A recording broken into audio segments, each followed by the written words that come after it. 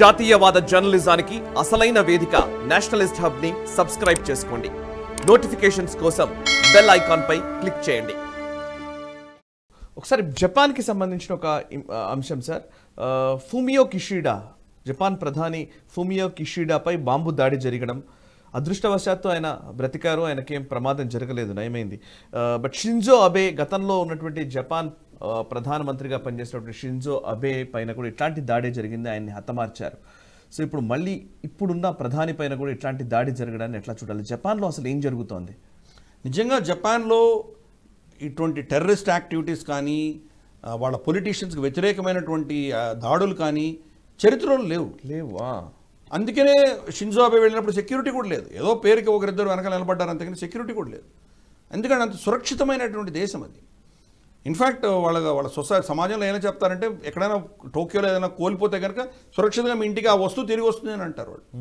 అంత మొరాలిటీ ఉన్నటువంటి దేశం చాలా స్ట్రిక్ట్గా ఉన్నటువంటి దేశంలో వాళ్ళ సెక్యూరిటీ అవసరం లేదు అనుకున్నటువంటి పరిస్థితుల్లో షింజో అబే చనిపోవడం అనేది పెద్ద షాక్ వాళ్ళకి.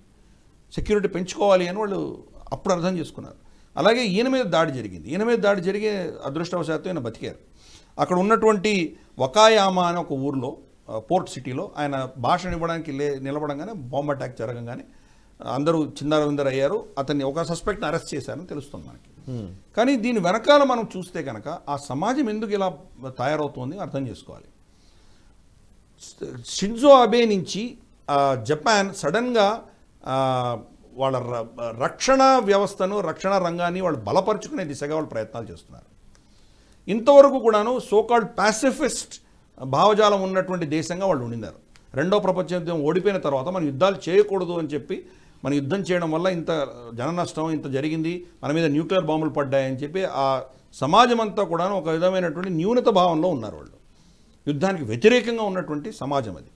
షింజో అబే ఎప్పుడైతే అమెరికా మనకు సపోర్ట్కి రాదు చైనా మన మీద దాడి చేస్తే మన రక్షణ మనమే చేసుకోవాలి అని ఆయన దీన్ని ఆ దిశగా ఆయన ప్రయత్నం చేయడము క్వాడ్ లాంటివి తయారు చేసుకోవడము వాళ్ళ రక్షణ రంగాన్ని పటిష్టం చేయడం లాంటివి చేశారో ఆయనకు వ్యతిరేకంగా ఇటువంటి శక్తులు మొదలయ్యాయి. అదే పరిస్థితి ఫూమియో కిషిడా మీద కూడా జరుగుతుంది. అంటే ఆ అక్కడ కూడా సమాజంలో వాళ్ళు మిలిటరీగా బలపడేటువంటి పరిస్థితికి వ్యతిరేకంగా అక్కడ కూడా శక్తులు తయారయ్యాయి. వీళ్ళని చంపేస్తే కనుక మనకు ఇంకా మనం మళ్ళీ సైన్యం పెట్టుకొని బాంబులు తయారు చేసుకునే పరిస్థితి ఉండదు మనకి యుద్ధాలు అక్కర్లేదు అన్నటువంటి నైజం ఉన్నటువంటి వాడు.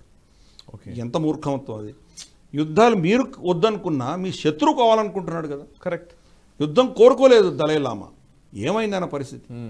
ఆయన మొత్తం లాసా పొటాలా ప్యాలెస్ అన్ని వదులుకొని హిమాచల్లో ఉండవలసిన పరిస్థితి ఆయనకు పట్టిందా లేదా?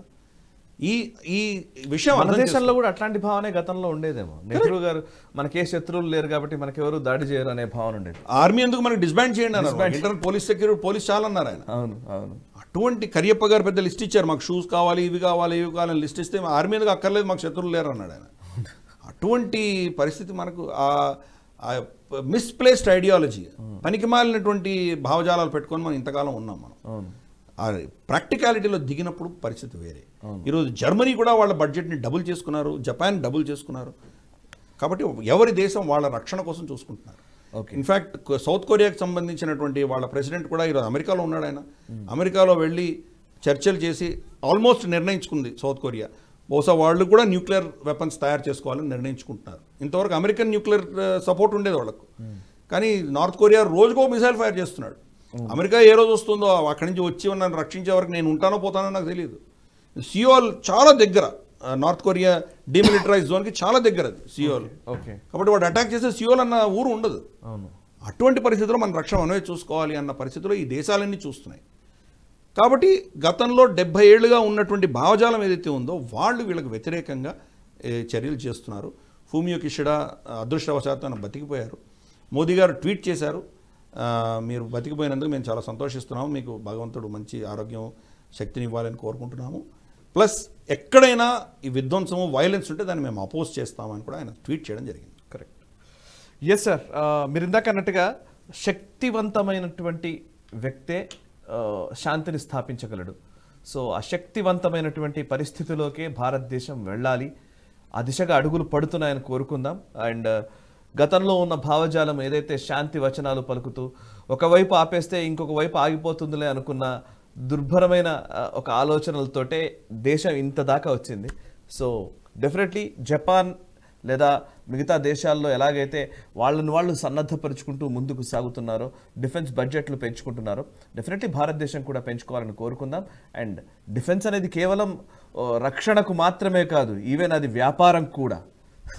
సో ఆ సూత్రాన్ని పరిగణలోకి తీసుకుని భారత ప్రభుత్వం పనిచేస్తోంది. అవి సక్సెస్ కావాలని కోరుకుందాం. వీడియో మీకు నచ్చినట్టయితే లైక్ చేయండి పది మందికి షేర్ చేయండి అలాగే కామెంట్ల రూపంలో మీ అభిప్రాయాలను మాతో పంచుకోండి. నేషనలిస్ట్ హబ్ గ్రూప్ ఆఫ్ ఛానల్స్ను సబ్స్క్రైబ్ చేసుకుని తెలుగునాట జాతీయవాద జర్నలిజాన్ని ప్రోత్సహించండి. ఈ వీడియో కింద ఉన్న బెలైకన్ పై క్లిక్ చేయడం మర్చిపోవద్దు.